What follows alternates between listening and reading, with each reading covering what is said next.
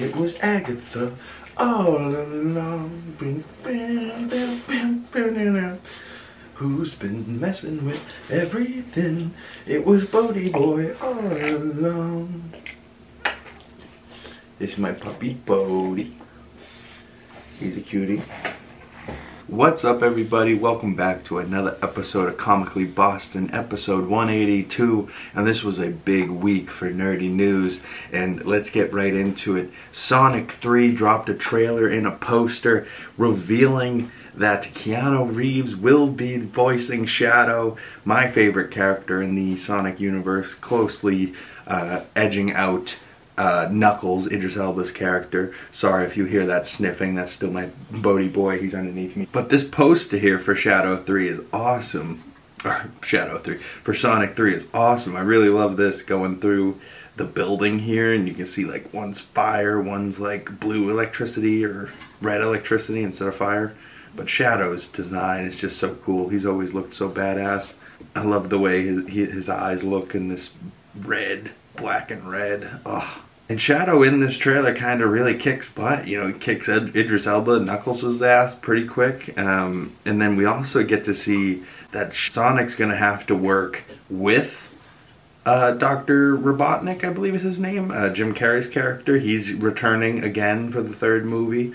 Um, and this time he also is going to be playing his father, you know, so he's playing a fatter, older version of the character he's been playing for three movies, and then also playing his father. So Jim Carrey is going to be pretty in, unhinged in this film, and it's going to be really good. But I have a short little clip, clip here, a little six seconds of what uh, Keanu Reeves' voice sounds like as Shadow, and I think, you know, it sounds like Keanu, but it fits quite well. You're a colorful bunch. We when we're done, there won't be anything left. Ooh, I kind of really like that. Shadow's riding a motorcycle. Um, he's like, you're a colorful bunch, which is very true. We have blue, yellow, red between Tails, Sonic, and uh, Knuckles. Moving on, comment below your thoughts on Sonic 3. Will you be seeing it? Have you seen the first two Sonics? But the next topic today is Joker 2. Folie à Deux, they dropped a couple new posters. We got the Joaquin Phoenix poster. This movie's coming October 2nd, so it's honestly right around the corner. Can't wait for that. Uh, Lady Gaga has her own poster here. And then there's a uh, poster of just the two of them back to back. She's smoking a cigarette. Um, Joaquin Phoenix's face paint looks really good in this picture here. I don't know if it's the color or just the blue on his eye. I don't know. It just looks really sharp and hers looks like smudged. I don't know. But you know there's going to be some type of musical element. You don't get a Lady Gaga if you're not going to have her singing and whatnot.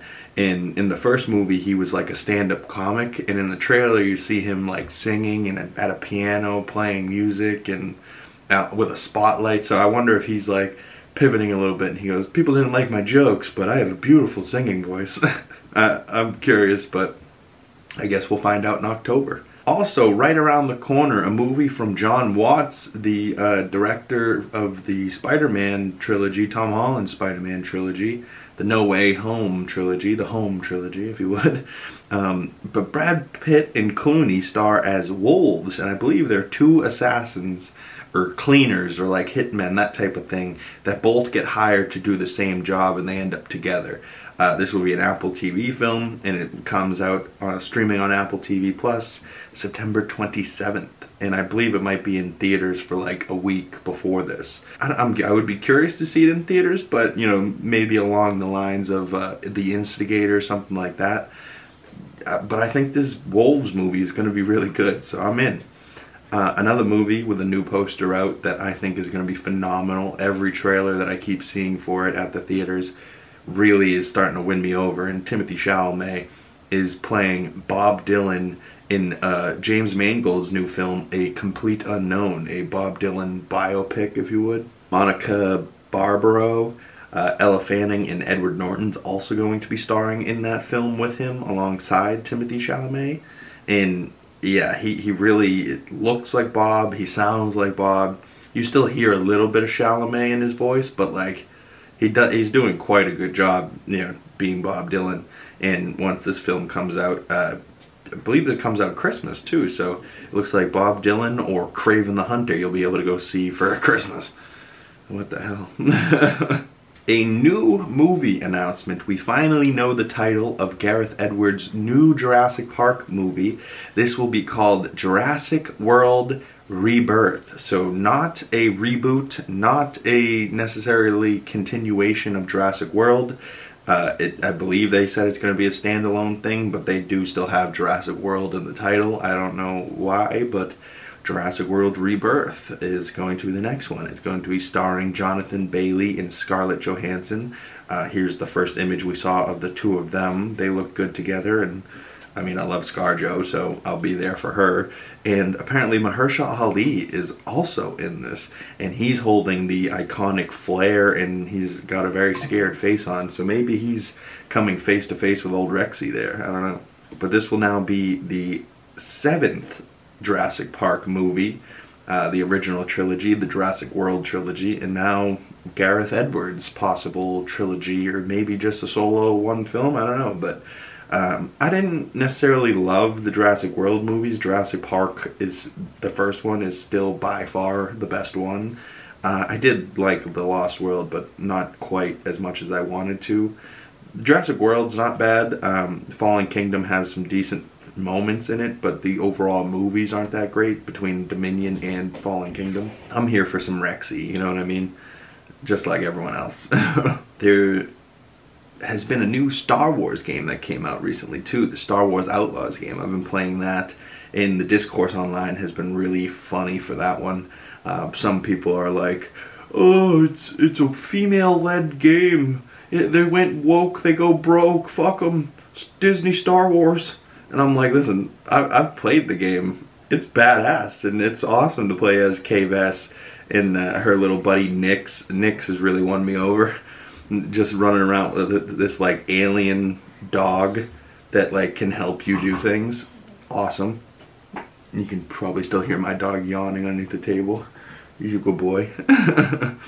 uh, there's also a season pass. Like I, I've I've only gotten maybe two, three hours, maybe four hours into Star Wars Outlaws, and I've been thoroughly impressed. A little too much uh, sneaking around, but I've found when I went loud and proud, I actually preferred sneaking around. So, you know, you have the option though, which is kind of cool. You have options to go different routes, so it's really kind of open to how you want to play, uh, is how you can do it. And it, I really love that aspect of it. I love that you can go to different planets, you can fly in the, the ship, you can go to land, you get you have a speeder, Nix you know attacks or steals things from people, triggers uh, you know buttons. The the puzzles have been really cool. They have a new image here for the season pass of Star Wars Outlaws. I don't know what that means. Maybe they're going to be adding missions, bounty huntings type stuff. That would be kind of cool. Um, but Lando Calrissian is going to be in the game. I have yet to bump into him. And also Hondo. Hondo Udanta, I believe is his name uh, or that might be Yondu Udonta from Marvel, but Hondo from uh, Star Wars. He has uh, been in the animated shows. He's like a smuggler. He's like a pirate, that type of thing. Um, I believe he's also supposed to be in the Skeleton Crew coming up pretty soon. But Hondo here is supposed to be in Star Wars Outlaws, and I have yet to see him, but I'm very, very curious to see where the rest of that game leads me. But coming into the last topic of today, uh, Agatha All Along has released a new poster from the twisted minds that brought you WandaVision. Revenge is a witch. Ooh, revenge is a bitch. Um, but the cast is, is stacked. Uh, Kathryn Hahn. I, this is going to be all of the spooky vibes you could possibly want. All of the Halloween trajectory, trajectory, everything. I have my Agatha shirt on. Love this little blood moon with some witches flying through it just a badass shirt, but then it's for Agatha, so I love it even more. Um, but September 18th that comes out, and Marvel keeps releasing this image and another image here of Kathryn Hahn, and I, I just really can't understand why she's going to be naked and outside. Um, how this happens to poor Agatha, but she seemed perfectly fine and comfortable. also, we learned that the episode lengths for the four, first four episodes uh, from Scarlet Witch updates, which has all of your Wanda updates that you could ever need. Uh, episode 1 will be 39 minutes and 49 seconds. Episode 2 will be 41 minutes, 25 seconds. Episode 3 shall be 37 minutes. Episode 4, 40 minutes and 52 seconds, almost 41 minutes. But how many episodes total? I believe maybe eight uh, or nine, maybe what like uh, WandaVision. I hope it's not any less than six, and I, I know it's got to be more than four. Um, but either way, I'm going to be here for that one. That show feels like it's going to be awesome and fun and different, but also kind of have capture that Halloween vibe. So I'm really here for it. And the last two pieces of news are big ones. Uh, if you're still trying to avoid Deadpool and Wolverine spoilers, get out of here. Um, but there was supposed to be this, I don't know if it's a deleted scene or what, but uh, Ryan Reynolds posted it, so now he's making this pretty much canon that Gambit, at the end of Deadpool and Wolverine, you know, the question of what happened to Gambit, is he still in the void, whatnot? I believe this confirms that Gambit is alive.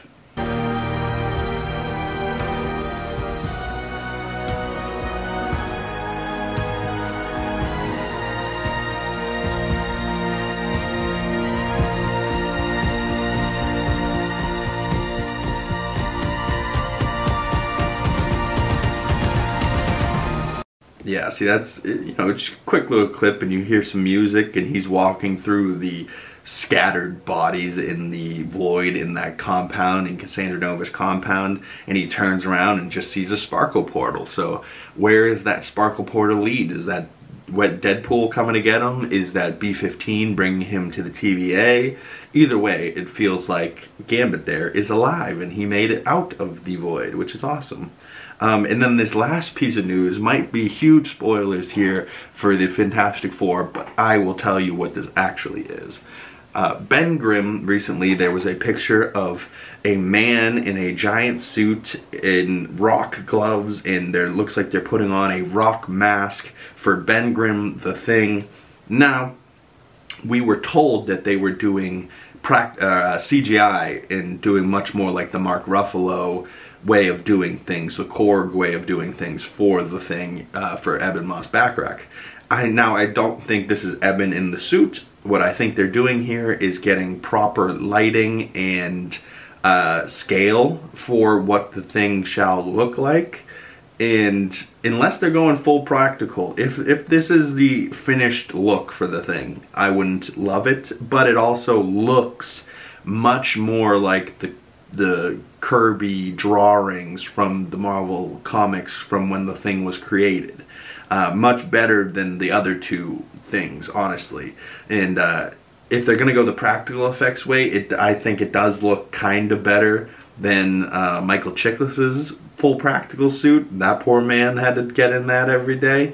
Um, but Eben, I believe, is going to be doing mostly mocap and performance capture and this I believe will just be like you guys have ever seen that chrome ball that they bring out on sets for uh, visual effects for lighting and stuff like that? I believe they're doing something similar to that but just with a stand-in Ben Grimm to get proper lighting on the rock proper lighting on how the suit looks the blue and the white Fantastic Four suit. I mean it looks old and classic but it also is supposed to be set in the 60s I'm here for it, honestly. I think it's cool, and I think this movie is going to be awesome.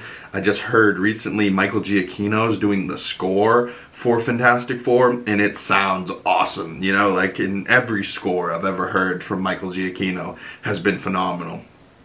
Even when he directed Werewolf by Night, I was so into that. Between the music and just like the the way that he did thing and the, how the music was incorporated with everything throughout, oh, so beautiful. So, so well done. So shout out Michael Giacchino. I can't wait to hear your score for next year. But with that Jurassic World coming out in July of 2025, next July is packed between Superman, James Gunn's Superman, Jurassic World Rebirth, Fantastic Four, and I believe there might be also another one coming out next July. So July of 2025 will be a big month for movies. I hope to see all of these. I want to see all of these. But man, is it going to struggle and maybe not reflect the box office and how it should because people are going to want to see one or two of these movies, but I don't know if everyone will have the budget and the money or the time to go to the movies three times in one month. You know, not everyone's like me. You know, and I watch a lot of movies, and even I don't go to three movies in one month. You know what I mean? Like, but there's some A-list members that are going to three movies a week. So I don't know, power to those people, but maybe uh, by next July I'll be an A-list member instead of just a premiere member. but comment below which of those movies you're going to go see next July. Are you excited for Agatha All Along? Have you been playing any video games like a uh, Black Myth Wukong or a Star Wars Outlaws? I'd love to hear your thoughts on those down below. Uh, this new title for the Jurassic World movie, what do you think?